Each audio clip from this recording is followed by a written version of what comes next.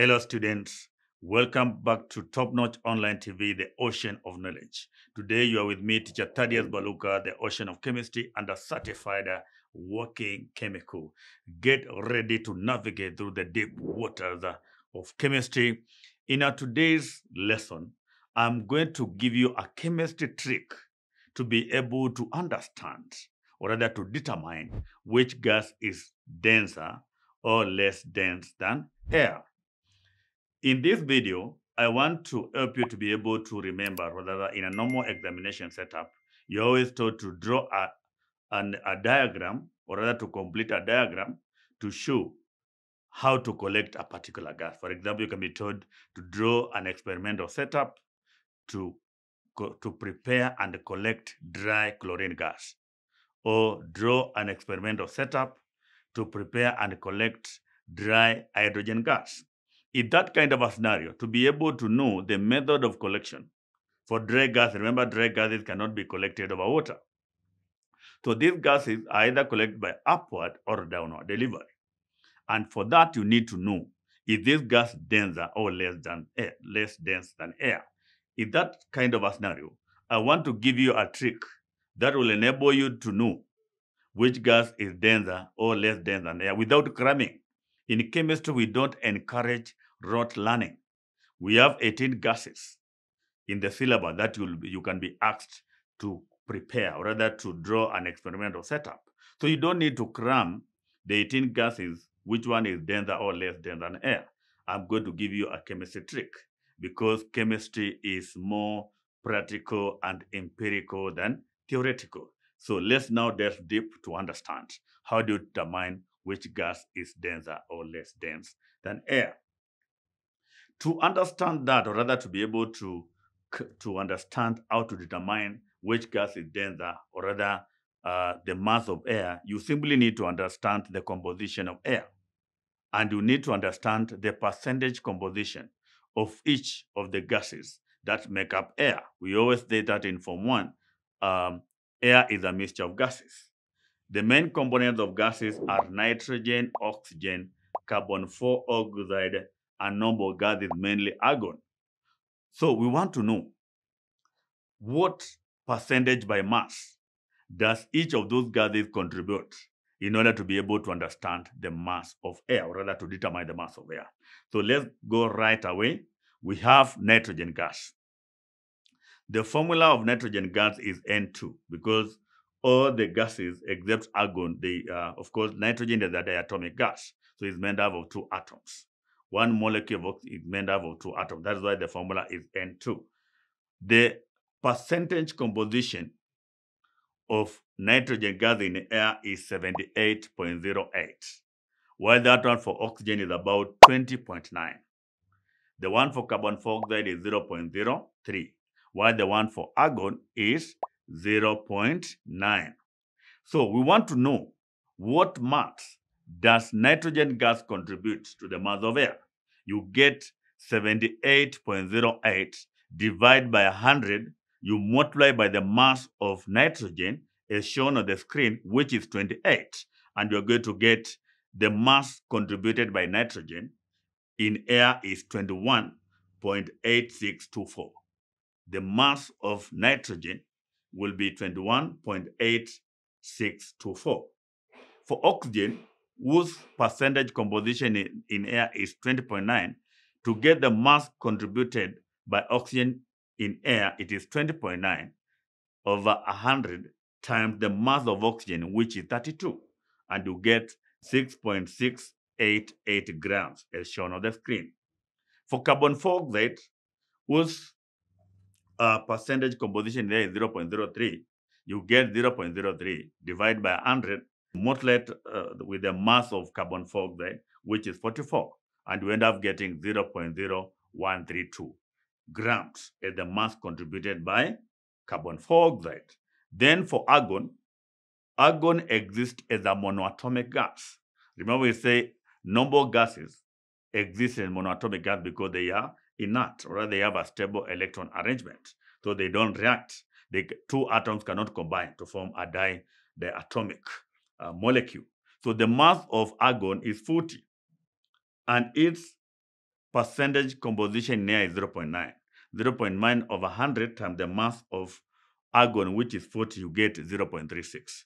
When you add the 21.8624 of nitrogen, the 6.688 grams of oxygen, then 0.0132 grams of carbon dioxide, and 0.36 grams of argon, you normally get the total is 28.9236 grams. So that gives you the mass of air.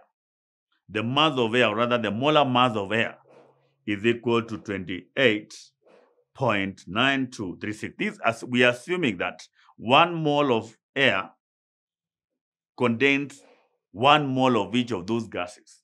And that's why we are getting that because air is a mixture.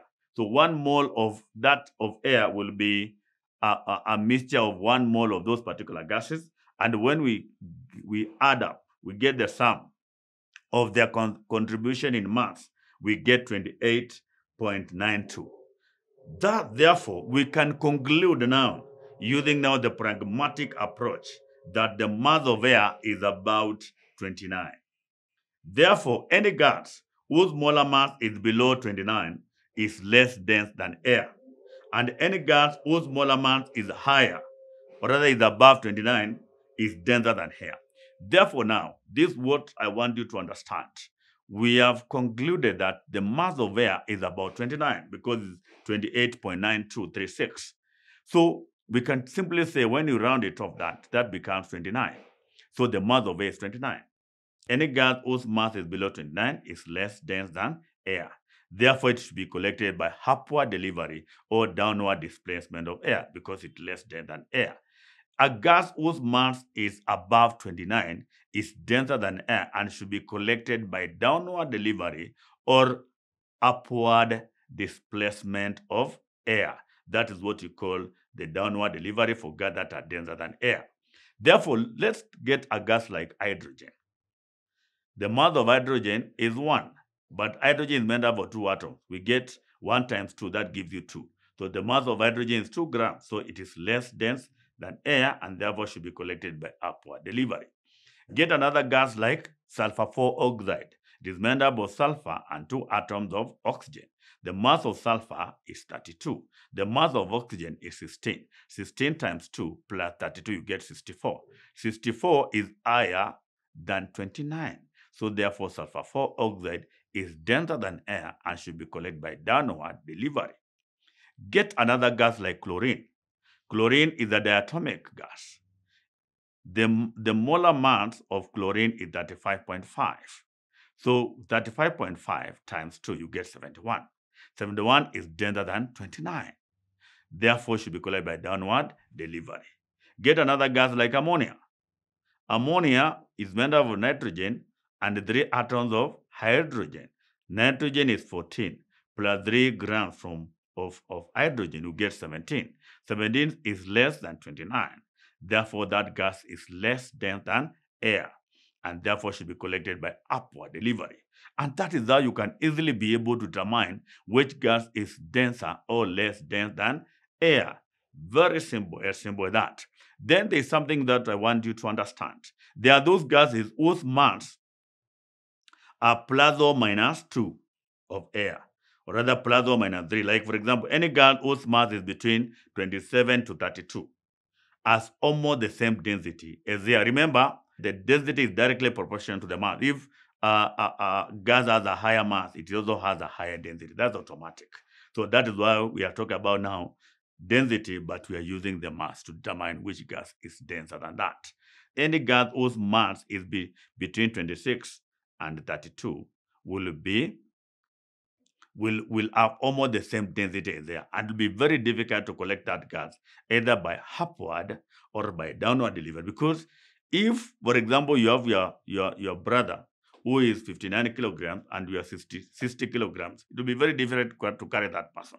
So you cannot, the same way with the gases, it is very difficult to displace a gas whereby the, the, the, the, the density of the hair and that gas is very close. Therefore, such gases are collected using a syringe.